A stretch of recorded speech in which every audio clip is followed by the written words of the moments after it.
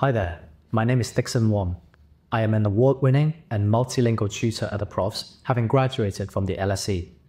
I specialize in subject tutoring in economics, maths, and Mandarin for GCSE and A levels, as well as the 11 plus, 13 plus, 16 plus ISEB and CAT 4 entrance exams for UK's most competitive independent and grammar school admissions. Students that I've tutored have gained entry to or are currently studying in top UK schools such as King's School Wimbledon, St Paul's, Dulwich College, Wycombe Abbey, Cheltenham Ladies College, etc., and in some of the best UK universities, including Oxford, Cambridge, the LSE, UCL, KCL, etc. 97% of my A-level students achieve at least a grade B or higher, with 72% of them achieving A stars and A's. And I also boast a 100% success rate when it comes to my GCSE students achieving at least a grade 6. A Well, A levels are one of the most important qualifications for students in the UK, often serving as a gateway to higher education, apprenticeships, or even direct entry into the workforce.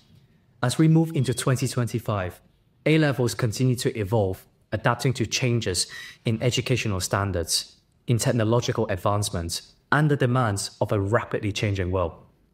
This guide will provide you with everything you need to know about A levels in 2025. Number one, what are A levels? A levels, short for advanced levels, are subject based qualifications that students typically take at the end of their secondary school education, usually between the age 16 to 18. They are widely recognized as the standard qualification for university entries in the UK and in other parts of the world. Some of the key features of A levels include duration, two years, year 12, and year 13. Assessment, mostly exam based, with some coursework depending on the subject. Number of subjects, between three to four, sometimes even five, but studying in depth. Grading, from A star down to E as a minimal pass grade. Subject choices in 2025. A levels offer a wide range of subjects, and in 2025, students will have access to both traditional subjects and modern courses that ref reflect the evolving needs of society. Whatever it is that you choose, it is important to select the subjects that align with your strengths, your interests, your university plans, and your future careers. Think of A level subject as seeds that you're planting. Each choice has the potential to grow into a thriving career. The subject you choose now can set the course for years to come, so please choose carefully and choose with purpose.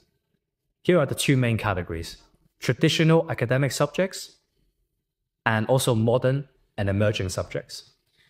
In terms of traditional academic subjects, we have maths and further maths, where it's absolutely essential for students pursuing degrees in the STEM field. Sciences, chemistry, biology, and physics, these remain popular for careers in healthcare, in engineering, and in research.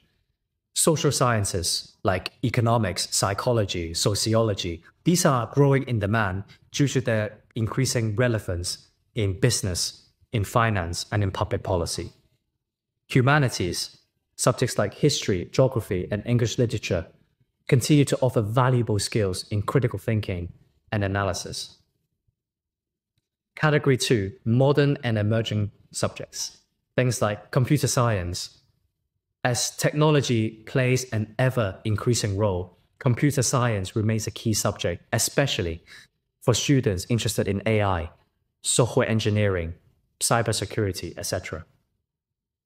Environmental science. With climate change looming, more students are opting for subjects that tackle environmental issues and sustainable development. Business studies. Entrepreneurship and business skills are in high demand, and A level business studies provides a foundation for students interested in starting their own ventures one day. So, in terms of choosing your subjects, universities will often have specific subject requirements, especially for specialized degrees such as medicine and economics. So please research your options early. At the end of the day, choose subjects that you enjoy. Choose subjects that you excel at. Choose subjects that open doors for you in the future. Number three, key changes and trends in 2025.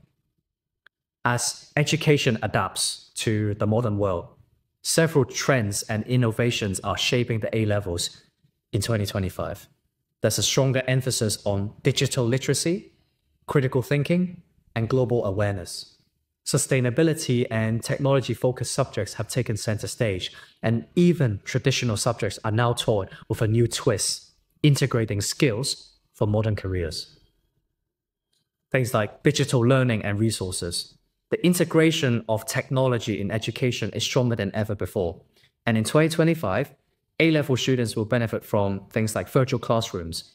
This is for the purpose of remote learning. Students will have access to online classes, webinars, and virtual revision sessions, which are now common in both schools and tutoring environments. There's also AI-assisted learning, where adaptive learning tools that track student progress and also customize study materials based on the individual needs are becoming increasingly common.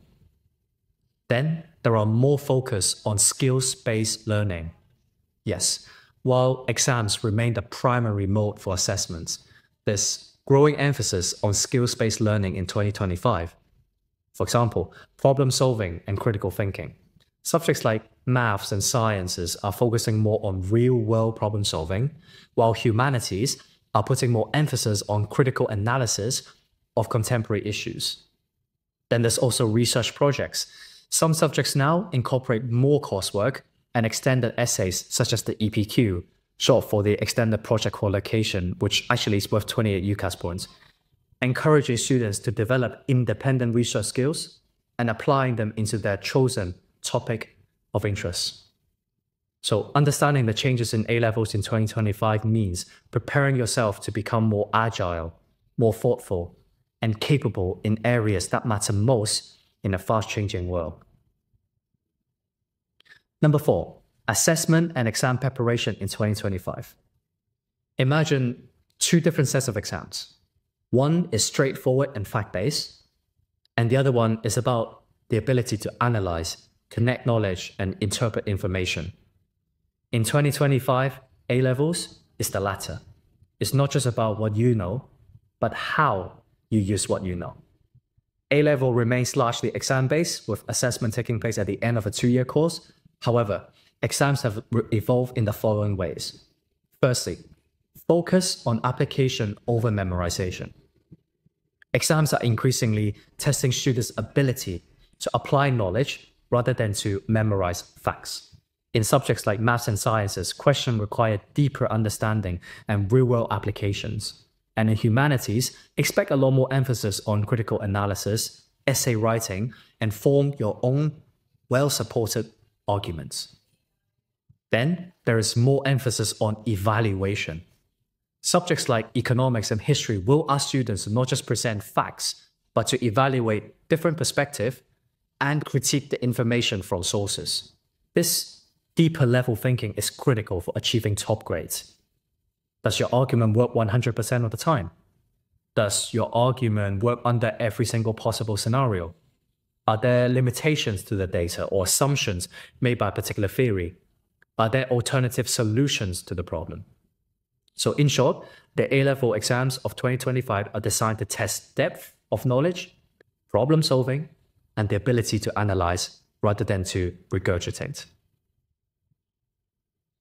Five, how to excel at A levels in 2025.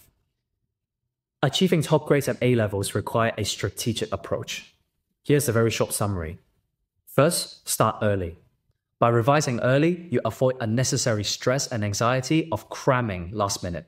You also have the luxury of spending extra time on difficult topics and you'll also be better prepared for regular assessments and can use them as valuable feedback to identify weaknesses early. Secondly, familiarize with the syllabus. A-star students or grade 9 students often stress the importance of aligning their study sessions with the exam syllabus. The syllabus outlines exactly what topics you need to study and how deeply you need to understand each one of them. This helps you guide your revision along the core content that examiners will assess, and you can also use that as a revision checklist. Thirdly, relate your subjects to everyday event. Tying your revision materials to everyday event not only helps you anchor information in your memory more securely and easily, but in some subjects like economics, it is a requirement to integrate real-world examples into your essay and exam and answers, demonstrating that you can apply knowledge in practice and make your arguments more relevant and insightful. Fourthly, stay organized. With organized study notes, a clear timetable, and a systematic approach to revision, you can avoid becoming overwhelmed by the sheer volume of material. Be sure to prioritize by focusing more time on subjects or topics that you find the hardest and set clear goals by knowing exactly what you want to accomplish in every revision hour. Lastly, practice past papers. One of the best ways to excel in A levels 2025 is by practicing past papers over and over. But beware, this is only valuable if you do it under time conditions and under time exam conditions as well. This helps you become more familiar with question types and time pressure. For the former, you get a feel for the style of questions that are likely to appear in the exam and what examiners are looking for. As for the latter, it will train you to manage your time effectively and increase your ability to handle pressure and reduce anxiety. For more details on how to revise for A-level exams, please check out my other video, How to Revise for A-level exams. The link will be on the screen right now. So look, at the end of the day, A-levels in 2025 is an exciting challenge and ultimately a rewarding experience as well. They require dedication, adaptability, and a willingness to push yourself. But remember, with every step, you're not just preparing for exams, you're building a foundation for a future filled with options and opportunities. So embrace that journey and let's go.